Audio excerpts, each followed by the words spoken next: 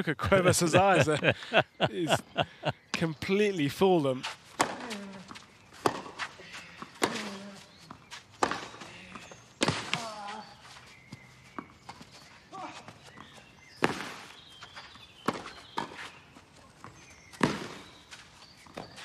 Oh, wonderful skill. First from Shapovalov, what great reactions they were.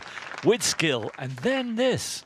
Really imaginative shot. It really fakes. Look at Cuevas' eyes. He's completely fooled them.